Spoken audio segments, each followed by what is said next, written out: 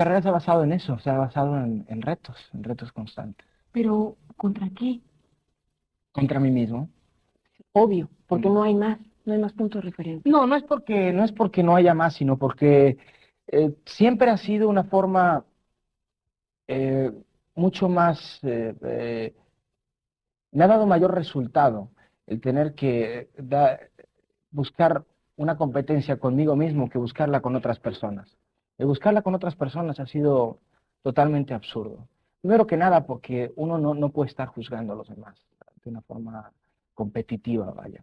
Porque además no creo yo en la competencia, sobre todo en el medio artístico. Yo creo que cada uno tiene su estilo, cada uno tiene su público y cada uno tiene su, su forma, ¿no? Este, o sea, no somos caballos de carreras, ¿me entiendes? Que uno apuesta al mejor y, y eso, es, es una cosa que no, no funciona conmigo, por lo menos.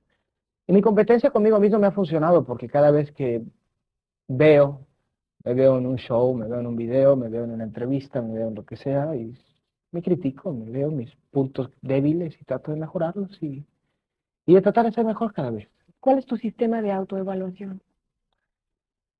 Pues no es un sistema, es un sentir, es un sentir, es un, es un decir, esto no es lo que yo quiero ver de mí. Y eso es lo que voy a tratar de evitar, ¿no?